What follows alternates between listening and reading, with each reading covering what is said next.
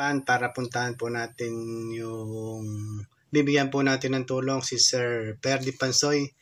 Ah, nakausap ko na po siya sa cellphone. Ah, nakakatuwa pong balita sa inyo na nakita ko lang po yung post na yon na senior po ni Trace Esper Flores. At tinawagan ko po yung number na nakalagay upang magpaabot tayo ng konting tulong. Ah, sa konting kwentuhan po, nalaman ko na yung asawa po pala niya ay taga Barangka. Kaya po masaya ako at mm, kahit papaano matutulungan ko sila. Nagulat nga po ako, talagang maliit yung mundo. Ang napili ko pa po, taga Barangka pa pala, isa pa pala nating kababaryo. Ah, talaga pong minsan mababaw yung akin luha pagdating po sa ganun bagay mga nasa ospital po na nanghihingi ng tulong kaya po sana po ay kung sino man yung may mga kaya sa inyo ay tulungan nyo na rin po si Sir Perde Pansoy. Ang asawa po niya ay lahi ng Pilayo na taga Barangka. Ayun po mamaya po ay pupuntahan ko si Sir Perdi para po iabot yung ating tulong. Ngayon po nandito kami sa Good Samaritan sa Gapan City po. Para ibigay po namin kay Sir Perdi yung may pangako ko pong tulong na maliit na tulong po. At tatawagan po natin si Sir Perdi para maibigay na po natin. Uh, tinatry po natin tawagan si Sir Perdi. Hindi pa po sumasagot. Uh, pangatlong tawag na po natin kay Sir Perdi. Hindi pa po sumasagot. Hopefully po, sumagot na. Nandito po kami sa Good Samaritan para po maibigay na natin yung tulong po natin. Sana po sumagot na si Sir Ferdi.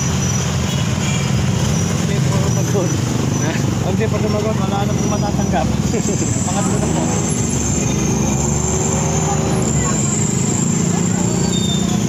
Meron mo mga tanong sa cellphone ka na, huwag mo nang tanggal magsasagot. Ha?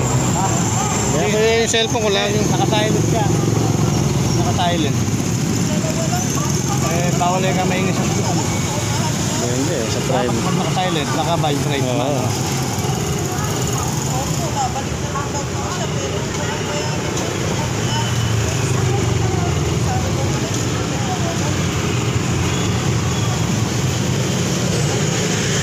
Ba pinagtatawag mo? Vlog. Ito lang. Hindi na, tatanong mo, papasok pa tayo dyan. Ayaw.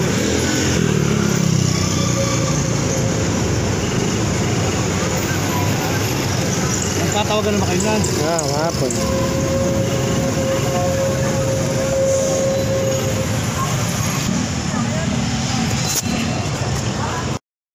Good Samaritan, bumalik po kami ni ni Mutli Pay.